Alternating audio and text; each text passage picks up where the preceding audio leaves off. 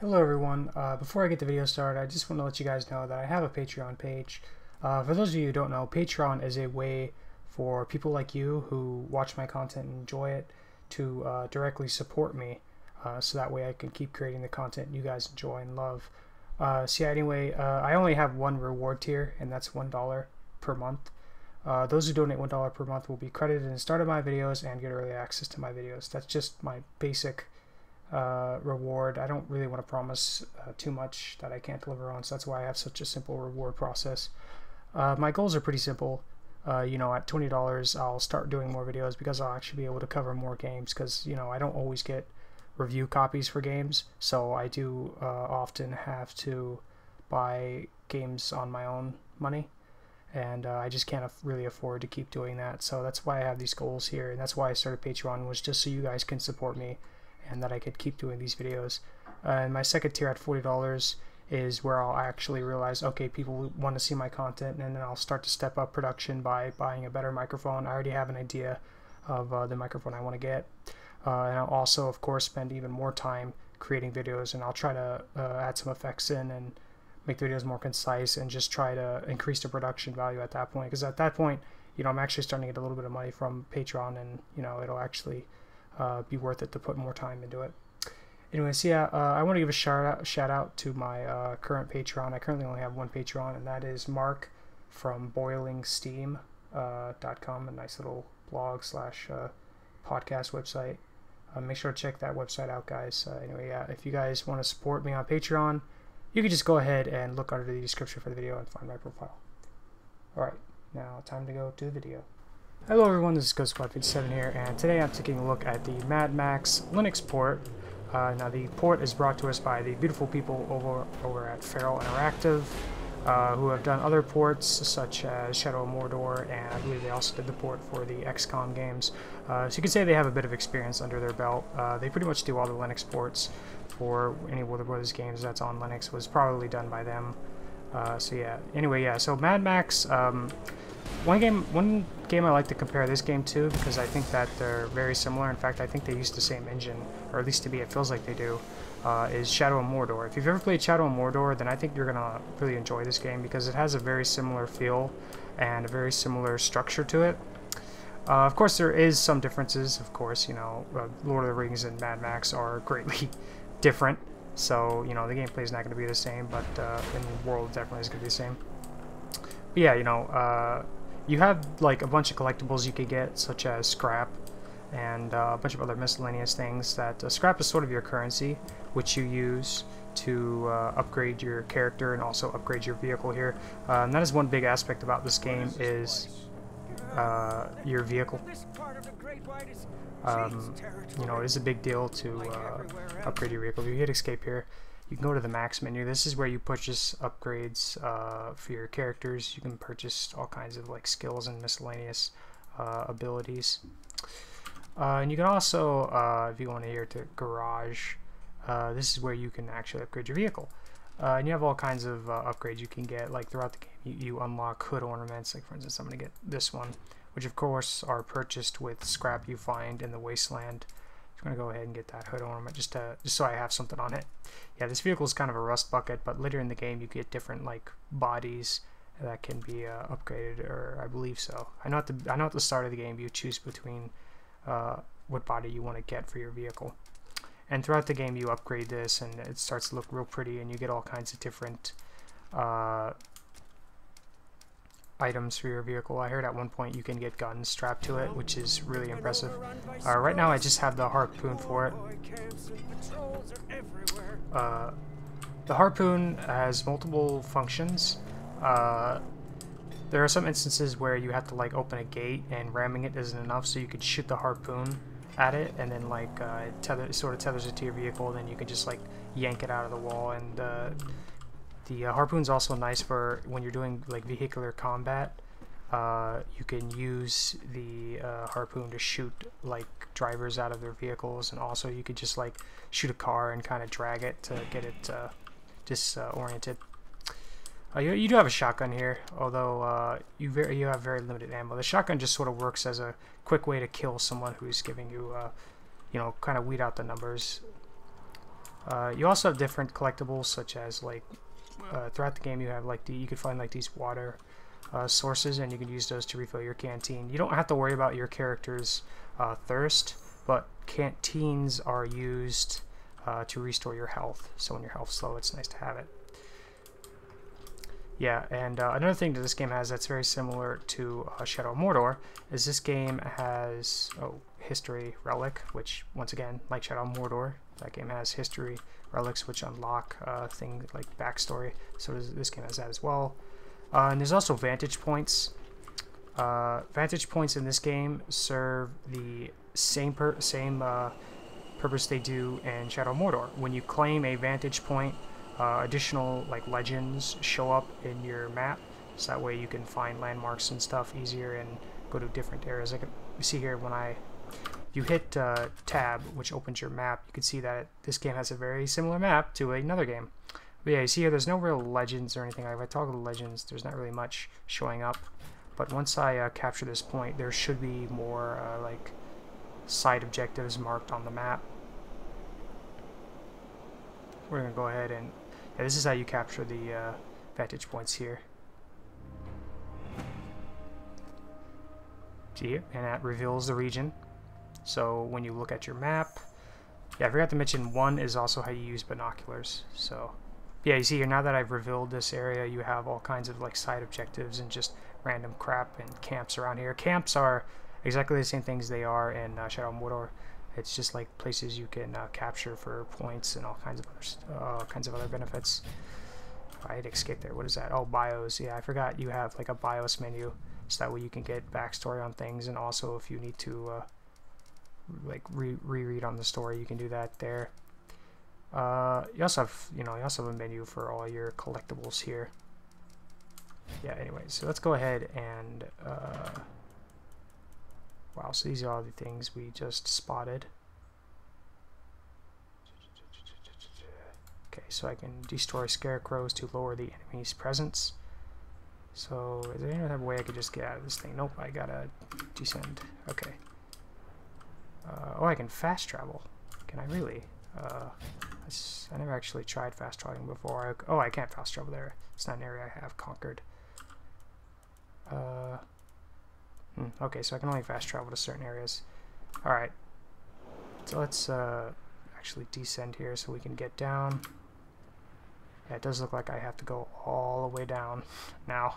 Yeah, it's a little weird having to go up and then go all the way down slowly. Uh, but it is a very nice view. This game does look uh, really good. Uh, if it, the port itself runs well, um, I would say that this game had a much better launch than Shadows of Mordor, for instance. Uh, this game on Linux runs pretty well. It is a very demanding game, uh, but if you've got the hardware for it, uh, you know, it looks really nice. I'm running the game at uh, pretty much highest settings possible. In fact, I think I am running at the highest settings possible. If we go to graphics here, uh, pretty much everything turned up, uh, except for motion blur, because motion blur sucks. I wanted to max out everything, uh, max out everything.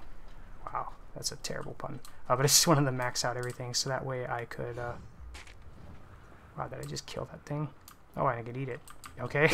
kill that thing. No reason. I didn't even know you could kill like small animals. Anyway, yeah, I wanted to max this game out just to show you guys how well the port runs. If you look at the top left there, you have an, the uh, FPS counter, which uh, shows you how well the game runs. Uh, it runs pretty good. There, you know, it, it in the wasteland, it usually stays above 60 frames per second. When you start to get into combat, uh, the game's frame rate can dip to like 40, 30, etc. Uh, but it runs well enough. Uh, see, I'm going to demonstrate some of the vehicular combat in this game. I recently got Nitrous, which allows you to be more destructive in combat. Uh, but you also have different maneuvers you can perform. Like, for instance, if you hold middle click and do A or D, you do like a side smash, which can, like I'm going to demonstrate that here. Like that, I, I missed horribly. Because I'm not really in a good position to do it. For instance, you do this, and you see I just smashed into him. And you can also use that in conjunction with the nitrous to be even more uh, deadly. Oh, he's actually running, so this is a good demonstration. I gotta get closer. This is actually a good demonstration of the harpoon. Oh, damn, I, I can't really harpoon him that well. I need a more powerful harpoon. There we go. Damn it. Yeah, I need a higher level harpoon, or harpoon to tear that tire off. That's unfortunate, but yeah, that's just uh, that's just one little thing you could do uh, in combat is like you could rip parts off the vehicle, including like doors. You could rip the drivers right out of the cars, which is really nice. It's a really nice feature that you're able to do that. Uh, there are no enemies, or else I would. There are no ground enemies, or else I would demonstrate the hand-to-hand -hand combat. But once again, very much like Shadow of Mordor, you left-click a lot, and then you right-click to do counters and stuff like that. Uh, so I forgot how to destroy these. I believe you just uh, Actually, wait, I believe I can... Uh, I know uh, one thing, your vehicles uh, do require gas cans. I have one right here. Or fuel cans, as the game refers to them. And you can find those scattered throughout the wasteland to give your vehicle fuel. You can also use them to, like, as explosives. You can ignite them and blow them up. There we go. That's what you do with the... There you go. There's one demonstration of the harpoon in action again. The harpoon's a very fun thing to use. Uh, very enjoyable really, I really enjoy this game's vehicular combat. Uh, it's a very enjoyable experience overall. I gotta level up. I believe I can spend that point on something. I don't think I have anything to unlock though. Yeah, this is customization. There is a way to... Uh, uh, your character does have a way to spend, like, you level up and there's a way to spend points on unlocking new abilities. Here we are, here they are. Right there uh, these right here are my abilities, but I don't I don't know.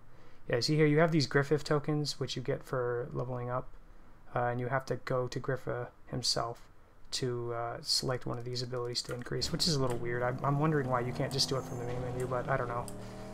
Uh, yeah, anyway.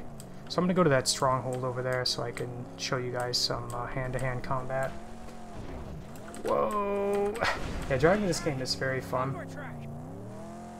Uh, it's very like it's got a very the cars have a very weighty feel, which is really nice. All right, so let's smash this gate. Oh, oh, whoa! Damn it! There we go. Oh, I'm actually getting shot at by the snipers. Alright, let me get this. Yeah! Yeah, it's really fun destroying that stuff. Let's have, and yeah, when you're outside of the vehicle, he will repair the vehicle for you. Uh, if you're inside the vehicle and you stop moving, you can also uh, press E to repair the vehicle. But you have to stand still while he's uh, repairing it, or else, you know, he'll stop. So let's go ahead and load these up. Actually, let's refill the vehicle, yeah. It's a better idea. I don't know how many gas cans my uh, car can, my vehicle could store. But that's weird, look first person there for a minute. I think it can only store one. that's unfortunate. Actually, you know what? We're going to go ahead and ignite this and show you guys that. There we go. And then we could just hold, throw it like that. Then let that explode. Oh, wow, that gave him. yeah, here's some of the uh, hand-to-hand uh, -hand combat. You know, like I said, you left-click a lot, and when there's a chance to counter, you press the counter prompt, and then it counters them. And uh, if you see here, there's a little circle when you have a chance to counter, and if you counter right when that circle gets small and turns green, you get a perfect parry, which allows you to do a, deal additional damage. Also in combat, uh, if you get enough consecutive hits, your your max meter uh, fills up, and then uh, with that, the when your max meter is full, you do uh, additional damage. There's also these insignias around here that you can break to unlock more stuff. So yeah, this game just has a lot of collectibles sitting around the game and a lot of like strongholds to capture and just a lot of vantage points to unlock. So just a lot of like uh, micromanaging of items and gathering, a lot of resource gathering. So if you're a fan of those kinds of open world games where you gather resources, then you'll love this game. Yeah, and I have an item here. You can pick up weapons from enemies, and then you could use those weapons for quick kills. Uh, I just used it there uh, to get a kill there, just to demonstrate it. Okay, get up the ladder. Ladder's the most difficult thing in any video game. Anyway, yeah, so if you see during, when there was a lot of enemies on screen, uh, the frame rate does tend to dip there, uh, but it's not so bad. It's definitely still playable. We're going to eat some food here to uh, restore my health. Yeah, and you also restore your health with uh, if, yeah, three is the flashlight. Forgot the mission is a flashlight. There's also binoculars with one, which can be useful sometimes. Uh, four is how you use your cantina, I believe. Yeah, four is for your cantina, and uh, you could use that to restore your health. Uh, but once again, water is limited, so uh, you know you do want to use that conserv conservatively. Um, but you can find uh, water resources around the wild to refill your cantina. Um, so yeah, anyway, space is how you uh, roll, which I don't really find myself using much. It's mainly used in combat to avoid attacks, but I, I don't really do it too much. I just counter because I'm not terrible at this game. Uh, it's not a very difficult game. Oh crap, so that's a special enemy there. That's a little bit, uh, seemed to dodge my punches, but now he's good. Oh crap. I'm fine. Like how I just said I'm not terrible, and then I... Yeah, there, there was a demonstration of a perfect parity, and now my max meter is full, so as you see there, uh, it starts to, uh, over time, it starts to dissipate, so you only have it for a very limited time. See here, I'm just... Yeah, you get these awesome finishers when you're buffed with the max meter. It's really nice. Oh, yeah. yeah because, yeah, that guy up there is buffing them, so...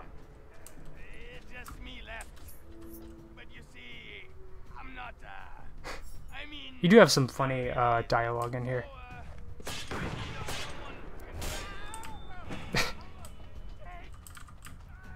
yeah, so clearing strongholds can be fun. Kick down some doors here. Uh, just the game in general is uh, pretty enjoyable. The game is, I think, about $30 uh, is the retail price. Last time I checked on Steam it was. Uh, and that's I think it's definitely worth it if you uh, enjoy these open world uh, games with tons of collectibles and resources together, then I think that you'll definitely enjoy this game. Uh, overall, I'm really enjoying my time with it. Um, and uh, if you get this game on sale, then it's definitely recommended. It's a very enjoyable game. I think people who enjoy the Mad Max series will also very much enjoy uh, this game. And, you know, I think that goes for both fans of the original and the uh, newer movie, especially for fans of the newer movie. Uh, this game does sort of have is sort of closer to the newer movies than the older ones. So I'm going to go ahead and refill my cantina here. I don't know where that guy ye who's yelling is. Oh, there he Oh, whoa, there's a bunch of them. Okay, yeah, so that guy's pretty well guarded. Yeah, I think you hold left click for uh, hard attacks. So, yeah, there we go. I I mostly just do like small little uh, hits.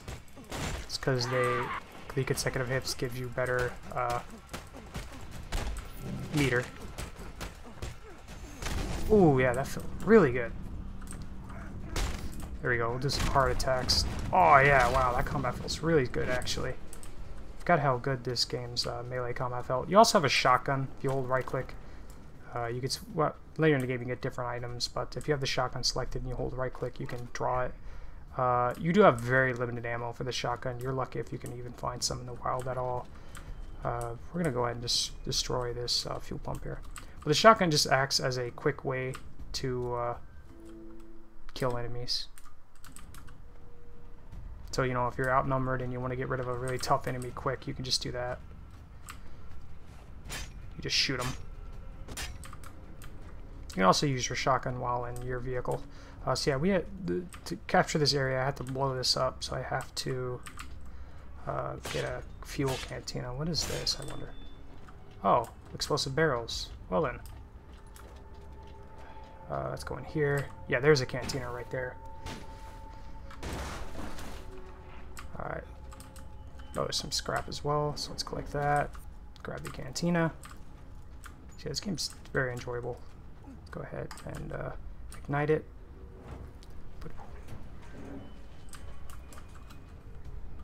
And then there you go, stronghold captured.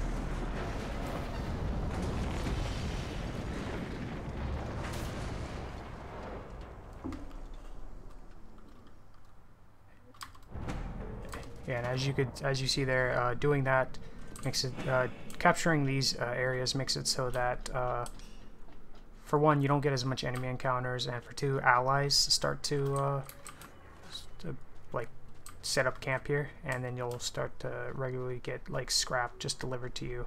Uh, so it's really really nice. Uh, so yeah, overall, uh, this is definitely a great game. I definitely recommend it for fans of Shadow of Mordor, or just for people who are fans of uh, the Mad Max series. And uh, yeah, it's just a very enjoyable game. Um, overall, I think it's definitely worth uh, $30. And uh, yeah, oh, there's a ladder over there I could have taken for a quick exit. Oh, I didn't even notice that. Yeah, it's bright, it's bright yellow, so I really am surprised I did not notice that. Uh, but yeah, definitely a fun game. Um, and like I said, the port is solid. You know, it, it could run better, but you know, it's not as good as the Linux, the Windows port, unfortunately. As always, you know, usually performance is about, I would say it's about 10 to 15% worse than the Windows uh, version, which isn't bad. I think that that's pretty good for a Linux port. So here we have my allies here building the base, and we're gonna go ahead and dip. So anyway, uh, that has been me taking a look at Mad Max. Uh, definitely a great game. I would definitely check it out. You also have capture mode here. This is a weird thing. You can enter like this screenshot mode and takes like uh, screenshots and apply filters and stuff. Very weird. Uh, you even have uh, connect a second controller and have a friend control the camera during gameplay and capture footage with a cinematic flare. Very weird feature that this game has, but I guess that's pretty nice. I also have a tutorial which I myself didn't even do. Uh, anyway, yeah, so that's enough for me looking at Mad Max. Uh, overall, you know, Feral did a Feral uh, Interactive did a really good job porting this game to Linux. Uh, you know, very uh, cool of them to port this game. Uh, and of course, the game itself, Warner Bros. did a fantastic job on this game. I think it's very enjoyable.